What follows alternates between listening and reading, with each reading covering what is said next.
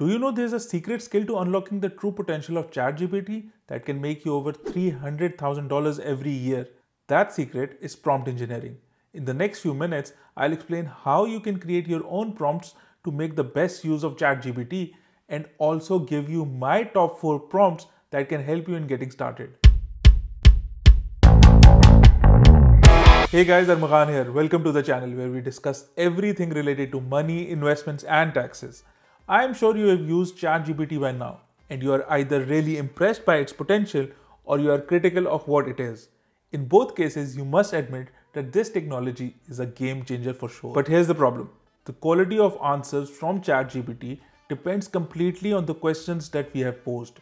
And not a lot of people have actually tried to learn to do this. Instead, we either give basic questions to ChatGPT and get okayish responses or we try and get ready-made prompts from Reddit and Discord and other forums instead of creating our own. But as more prompt-based AI tools enter the market, people who can actually create these prompts will be more in demand. In fact, I recently came across a job posting that asks for prompt engineers and is paying up to $335,000 for your skills.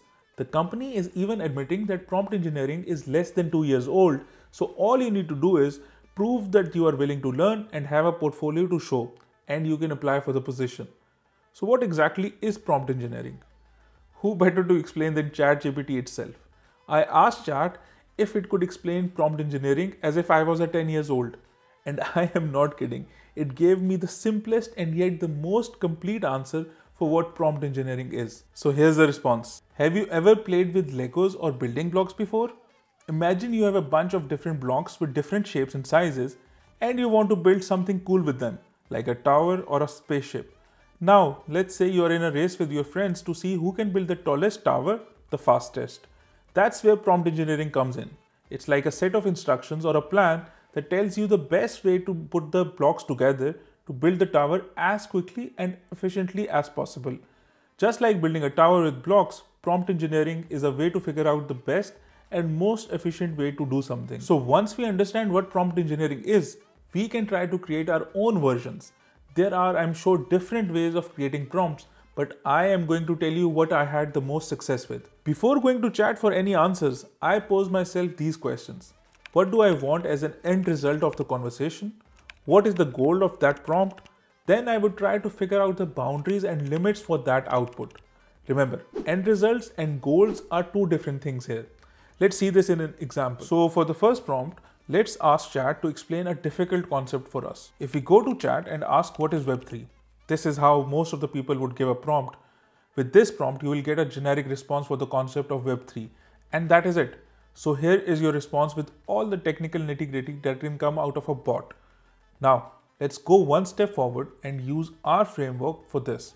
We can tell chat our goal and we can set a boundary. So now our prompt would be I am writing a short explanation on Web3. I need your help to explain the concept in layman's term. This explanation is for non-technical people. In light of this information, please explain Web3. Here, our goal is to explain Web3. Our end result is that short explanation. Our limitation is that our audience is non-technical. Now look, the response has clearly improved. With this response, you can see that chat went out of the way to explain the critical terms we can dumb down the content even more. I can tell chat if my audience was 10 years old children. For this, chat has now converted a complex problem into something that most school going kids would understand. But this is only the beginning. For prompt number two, we can make this prompt even better and tell ChatGPT to be an expert in the field. But before I tell you the second prompt, I have a request. It takes a lot of time and effort to make these videos and it would help me a great deal if you could press the like button. So back to the video. I'm sure you would have seen this before where people can ask chat to be an expert in a field. But what we are trying to do is so much better. The framework that we used earlier, I am going to build on that and provide chat with as many limitations as I can at the same time. I will tell ChatGPT to ask me questions relating to my objective so that the end result is as personalized and as detailed as it could be. So I'm starting my prompt by saying that you are an expert in running a social media management company you have a proven track record of managing brands in the digital arena and you specialize in social media. I am looking to start my own social media management company and get new clients. So here's the trick that has helped me get so much better responses. You add these lines in the prompt. You tell chat that your task is to help me find a niche to start with and guide me through the process of starting a social media management company. Make sure to ask me questions before you answer to understand my exact requirements better and improve the quality of your response. Now, if you look at the response from chat, you can see that it wants to know my requirements. This way, we can train the bot to answer our queries in a much more personal way rather than getting those generic responses that everyone else is getting. You can obviously tell chat about your profile and strengths and if you have researched the niche and what are your areas of interest. For example, I added that I am a CPA with over a decade of experience in financial planning and analysis and I have a small YouTube channel. Using that information, chat gave me a couple of options. From here, you can take this conversation as deep as you want you can share the insights you already have about the niches or the industries and you can get personalized responses every time. With all these details in the prompt, I'm sure you would like the answer you will get or at least it will be an inspiration for the next step. By the way, tell me in the comments what are your secret ways of getting the best out of ChatGPT. Okay, so let's move on to the third example. Imagine a situation where you are writing an essay or an article or you just want to understand a concept in detail you would want to get a different perspective on the existing beliefs.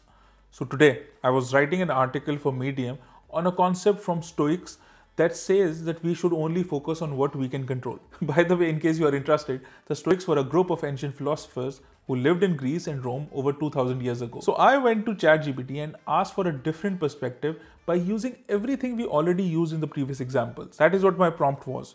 You are a renowned philosopher, researcher, and writer with many books on Stoics.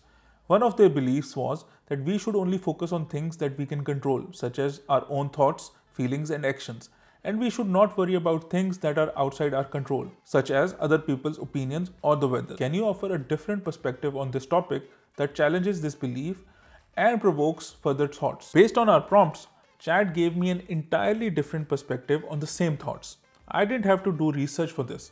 Chat has already given me the ideas that can now be used as discussion points in my article. Part of the response is so well written that I can actually use it without changing a lot. This is how powerful this bot can be if you are trying to learn a new concept or are trying to get a different opinion. Now with the same prompt, you can add your limitations. For example, in here, I can tell chat to be as brief as possible and it will reduce the number of words but will keep the essence of the explanation. Another prompt that you can use if you are researching a specific topic is to ask ChatGPT about a real world case study. I would go something like this. You are a renowned marketing expert who has helped various brands in growing their customer engagement. One of your clients is struggling to connect with the customers. Can you give a real world case study of a company that effectively leveraged the story behind the brand to connect with the customers and the tactics they employed. In response to the prompt, Chat has given the example of Tom's shoes and how the story behind the brand was able to help with the success of the company. Chat has even gone into the details of how exactly Tom's achieved success. So you can see how powerful ChatGPT can be especially if you know how to use it. These text-based AI tools have just started coming into the market and if you are someone who can experiment with these tools and learn a few basics, your skills would be very much in demand. By the way, if you think you are good with prompts, you should check out this video on the screen where I discuss Blue Willow. It's a prompt-based image generation tool that is exactly like Midjourney, but is completely free and with unlimited generations. You can create some amazing artwork through this tool. Go check it out and I'll see you in the next one.